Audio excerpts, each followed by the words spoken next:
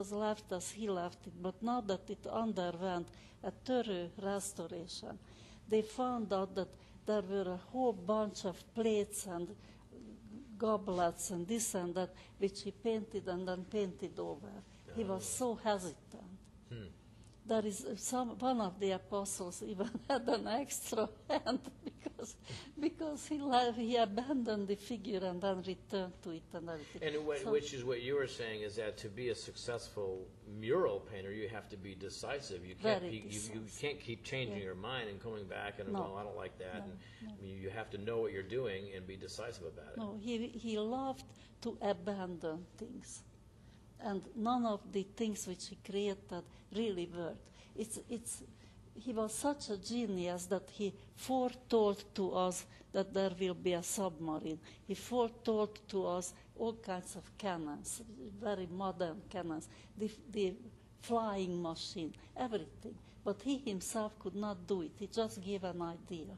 And So he was a, he was a, a visionary, A- but he, he yes, wasn't, he wasn't very good in actually executing it. No, no. Okay. And of course, later scientists returned to his work and studied it and studied it, and they lived out, out of him for centuries. They, they were able to execute what he just dreamt about. Okay. Now, you, in, you've showed some other, in some of your papers, and I don't know if it's this one or which, which one it is, but, but every artist uses a model to Yes. paint on. If you're, and, and so it's this, it's this, it goes back to this foreshortening thing that we talked about before the break. And, and the, the perspective that an artist would have to have in order to paint the man that we see pictured on the shroud. And in order to, in order to paint that perspective that we see, an artist, you would have to be standing about how many feet above? About 15 to 17 feet. So in order to get that, that, that perspective of the man lying on the shroud, you'd have to, you'd have to be up on a ladder about 15 to 17 feet above to get the perspective that we see on the shroud with, the- you know, with the shoulders drawn up and the legs drawn up. And, Yes. and, and the fact that there doesn't appear to be any light focus um, in, in it at all. And, and, and so there, uh, you know, so the question is then, then how does one paint from 15 feet away? Or, a, a canvas which is 14 feet wide. It's impossible. You know- People just don't picture the actual movements of the artist. He cannot. He only can make a small, very small painting, very small. And if you try to magnify it, as sometimes you do a small sketch and then you, you magnify it to actual size, it loses the detail. You don't see anymore what you see on the shroud. So it's impossible. You, you cannot stretch your arms. so, you, so that's far. right, I remember you re- telling about this, that, that as you go closer to the image, it, like, like a, a, a typical painting, you lose detail. But with the Yes. shroud, you gain detail in terms of Yes. getting down into, into the into the into the pixels and seeing how it how it's how it how it how it's created and the blood stains and and so it really doesn't act like a painting. I mean, and That I have to correct.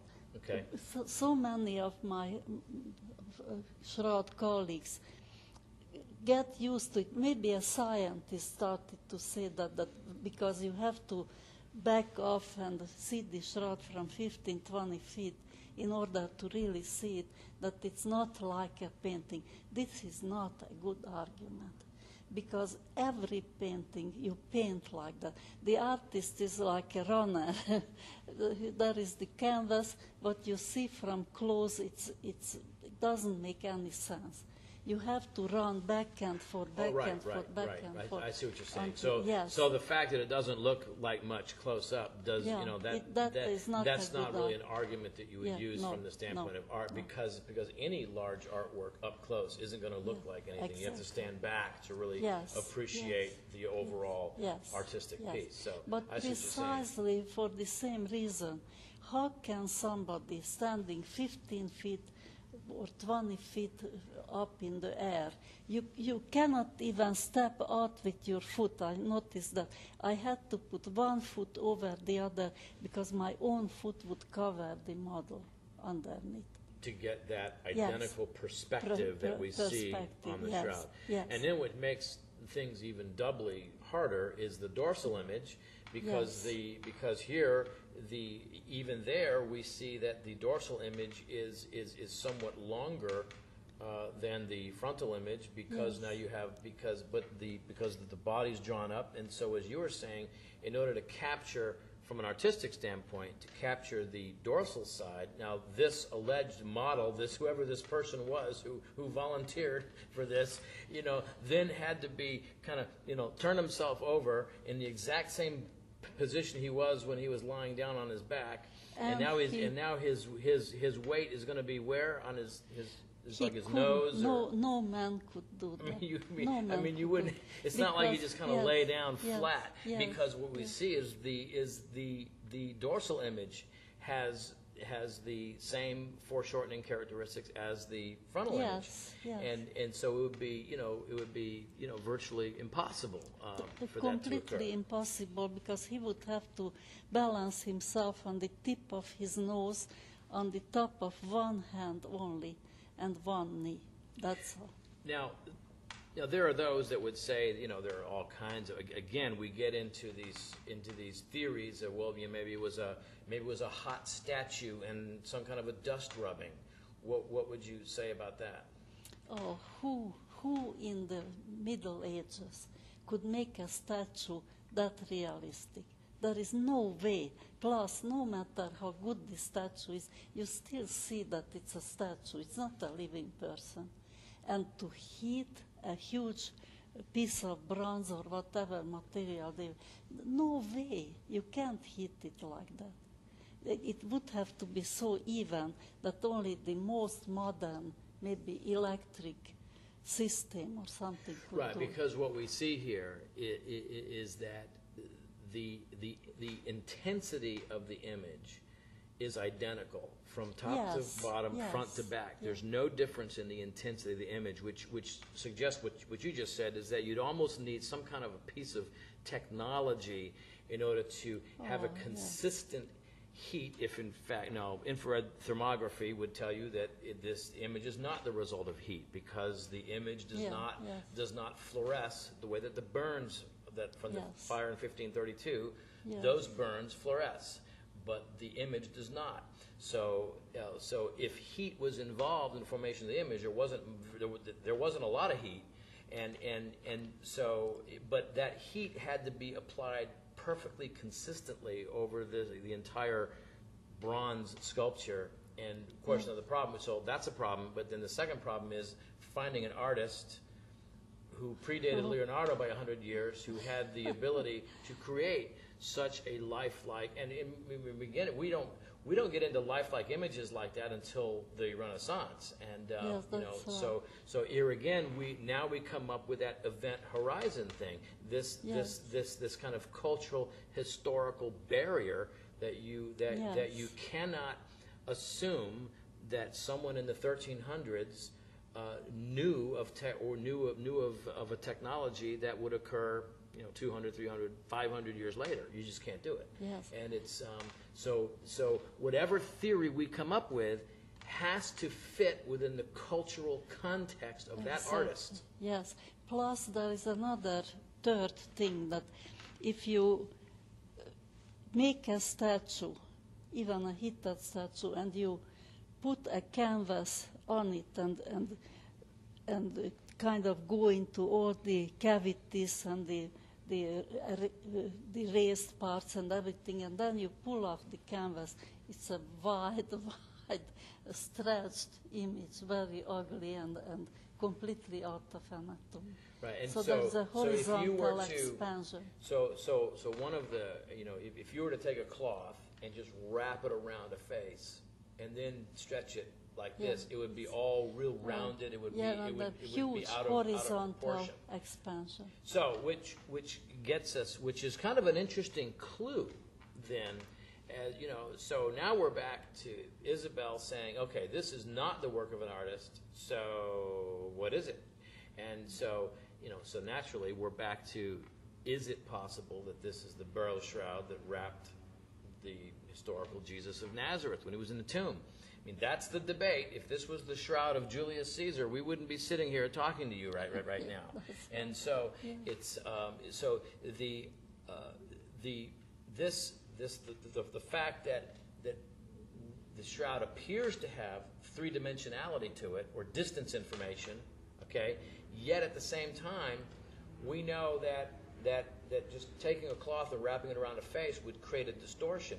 So which then tells you that the now this you know, on other places on, on on some of the writings that I've done, you'll you'll you'll know that I call the shroud the X Files of Christianity which is you know it, you know because there there is some really strange things about this image That's right. and and one of this is that that that the that the image formation mechanism appears to be a vertical phenomenon perpendicular to the cloth so it so it doesn't it would, it would is that right Yes, no, the most modern, oh, excuse me, the most modern investigation I'm conducting does us an even more complicated image. It's not even just up and down because the parts which uh, are concave and turn away from the perpendicular still register. And the system of that is maddeningly complicated. So like the side of the nose is- or something. The shroud is so much more complicated than we, any one of us, and even put together, realize. It, and it's, I, in my opinion, as a scientist, not just an, as an artist, as a scientist, I must say that no human being has that much brain to, Yeah. to bring it forth. It's, it's, a, it's a divinely made item, and he really put us to the test, to such a test that I admire what nerve God had to expect us miserable little beings to, to understand what he did. It's just unbelievable. Yeah, I, you know, the, what you'll see as a consistent theme in Shroud University is that the Shroud is a fabulous mystery, and it could very well be the most important archaeological artifact on the planet. Uh, and the significance of the Shroud is related to its potential.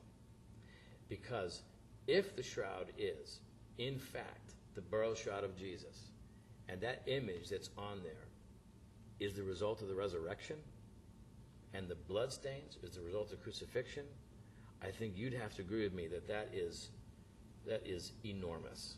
And so the potential of the shroud is, is incredible, which is why people like myself and Isabel and other researchers continue to investigate it because it's too important to just flippantly say, oh, well, it's medieval fake. We know that. It was carbon dated to the Middle Ages. Well, you know, not so fast.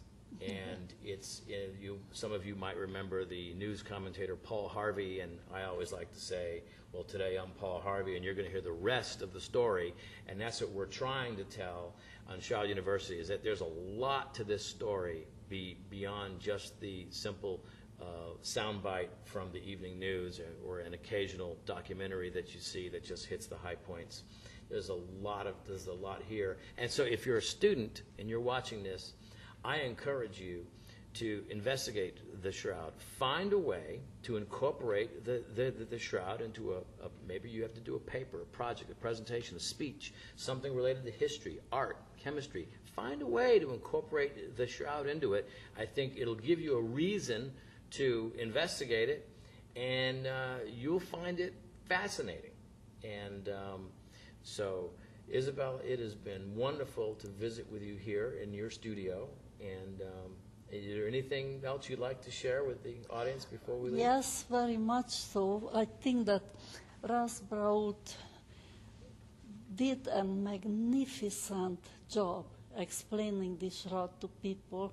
He's unique in this that he speaks to the young, especially, and we need young people to come to this research. God bless him for doing it and doing such a great job. Thank you, Isabel. I appreciate that. So, okay. Well, listen, stay tuned for the next uh, video blog, and this is also the audio of this is going to be on the uh, on uh, Shoutcast, which is uh, which is a podcast that that we do, and you can find it on iTunes. Just look for Shoutcast, and you can download it and listen to this. So, until next time, Russ Breault from Shroud University.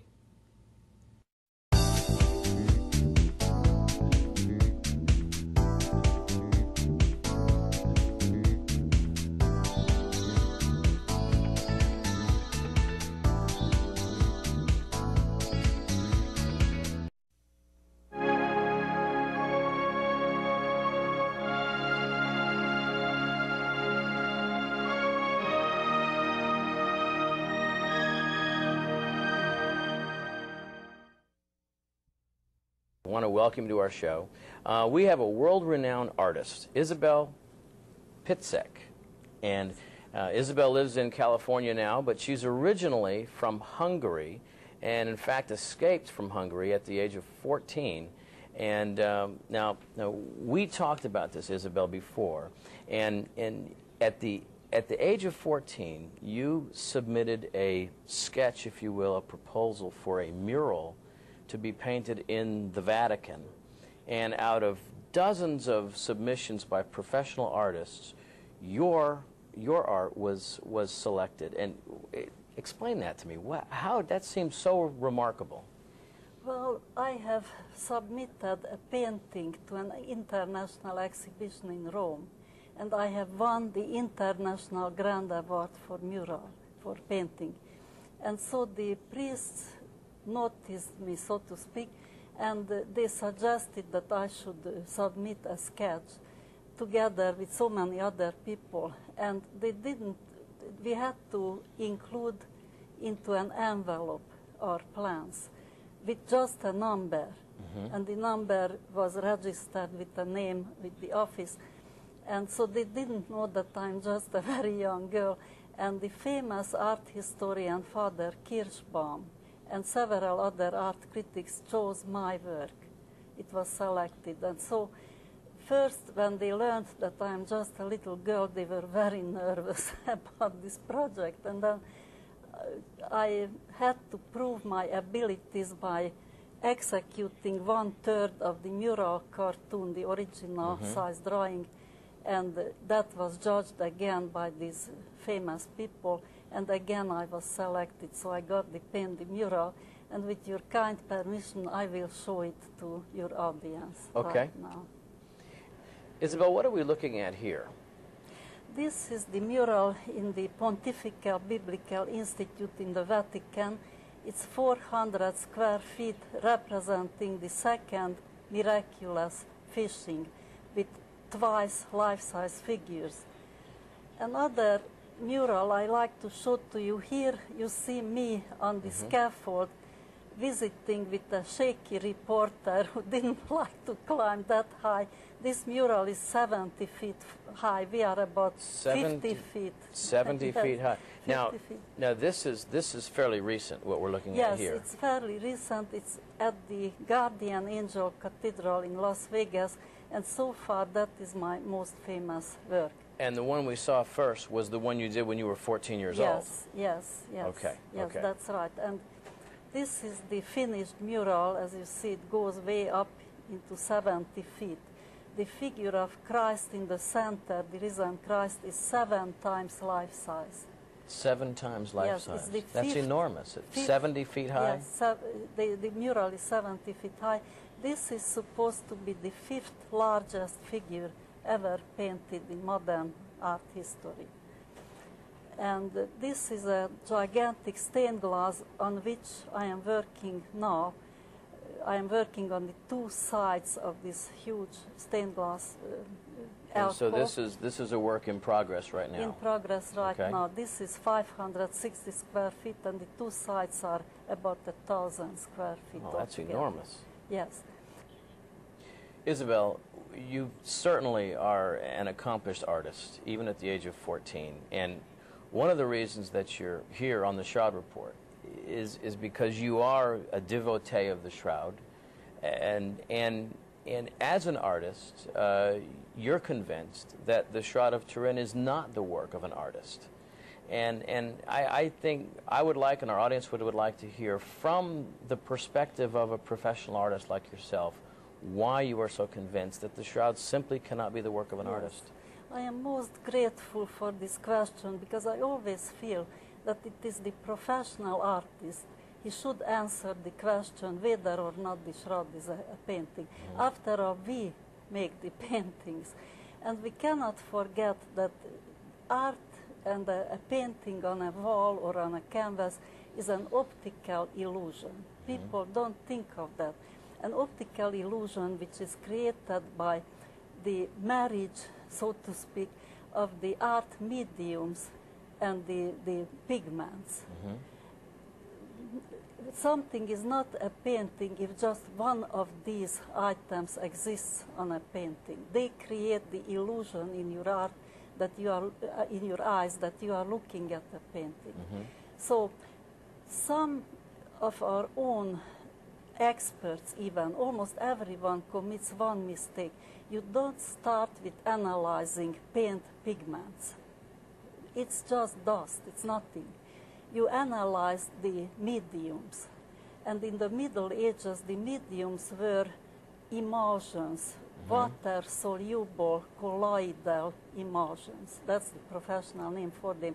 Egg tempera or gum tempera or glue tempera these are the emulsions So the e- emulsions is the, is the solution, the kind of liquid Yes. that the various pigments were dissolved in and Yes. mixed up in, Yes. and then later on painted onto whatever the surface that they were painting on. Yes, exactly. You, you see it so well. And, and the, these pigments are suspended i- mm-hmm. in the medium. They are not like the thermoplastic mediums, which are oil paints, and, and uh, they are completely one with the medium. These are just suspended. And they leave a definite and noticeable paint film, always. If you don't see that on something, that is not a painting. So in And other words, if you have an emulsion that has a pigment in it, then that emulsion is going to leave a film. It's going to leave something on there. Yes, exactly. And and the, the most important argument is that this film created by the emulsion must be intact. The minute is not intact, then then you parts of the painting are are missing. So if the emulsion isn't intact, then then the then the pigment's going to fall away, Exactly. and then you have no painting. Yes. And and yes. and so and, and so what relating that back to the shroud is that is there any evidence of any kind of an emulsion on the shroud? Absolutely none. And since the, the shroud is a continuous, homogeneous image, that you don't see any interruptions on it, maybe at, at the wrist a little bit. So it, it and it yet it do, doesn't have any kind of emulsion film on it. It makes sense that it's against the laws of nature for it to be a painting. It's that serious. It's against the laws of nature, and it's, it would be a miracle if a painting would exist without an intact emulsion. Okay, because the emulsion is what causes the image to be visible. Yes, And without the emulsion, you Yes. there is no way for the pigment Yes, to way attach to- to itself a- to the yes, to the surface. Yes, everything, even pastels, charcoals have a, have a certain, you have to use fixatives then. Mm-hmm. So this is perhaps the, the strongest argument. The second is that every painting shows um, a light focus. The light focus means simply that you know exactly where your light is coming from. Mm-hmm. Wha- from what side, from above.